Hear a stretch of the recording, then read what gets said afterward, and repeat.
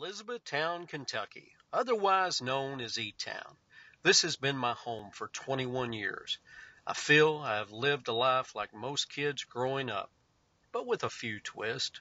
My parents were from opposite sides of Elizabethtown, my mom being a farm girl from Sonora, while my dad was the city Kentucky boy from Brandenburg, which is kind of funny because dad isn't a city boy at all because his hometown is viewed just as redneck as mom's.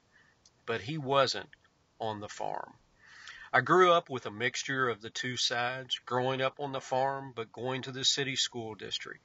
In our house for a long time, there was not much sitting around, especially when I was a little kid.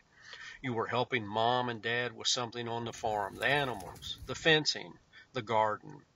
Always something or you were doing something for school or sports related. The house was pretty strict. My father, being a Kentucky State Trooper the first four years of my life, made sure of that. He and mom had worked hard to get where they were in life, trying to create a good life for us three kids. They didn't want us making silly mistakes that could set us back in the future. Although it seemed Dad was the strict one of the house, Mom wasn't anything you wanted to test. If you were acting up, she'd normally warn you when Dad got home, but that was just a test because she won't hesitate to put you in your place. You can just ask the bundle of wooden spoons she got for Christmas one year. It was a strict house, but definitely a happy house. Mom and Dad pushed us to be active, outgoing, and to love the things we do. E-Town gave us all the opportunities we could ask for. When it came to sports growing up, I played pretty much everything under the sun as a kid. Baseball, basketball, football, soccer, and golf coming towards the end of middle school. I spent countless days of my childhood sitting in my mom's barber shop after school, waiting, even begging to go home. Other days I would sit in Dad's real estate office, looking up at all the memories of his life on the walls, walking down the hall, looking for people that would rather talk or hang out with me instead of actually working.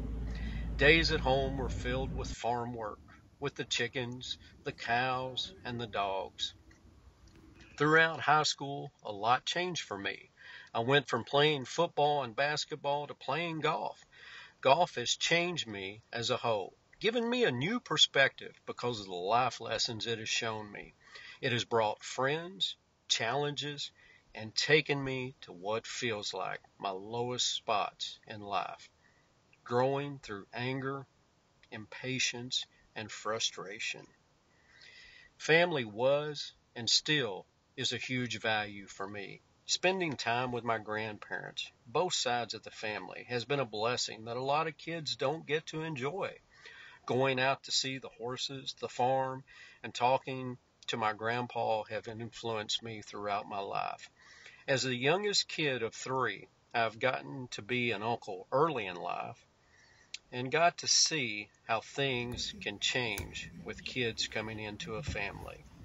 Though family is huge to me, Growing up in E Town, there was always that get out of here mentality. None of my friends wanted to stay there. If you stayed after high school, that basically meant you weren't leaving at all. Playing golf is one of the things that helped me get out of the negative attitude when it comes to thinking about E Town. At this point in my life, I can look back and see all the good things the opportunities that E Town provides. It's not all bad like I grew up thinking. But with that, I don't know if this is where I will continue my life. What is next?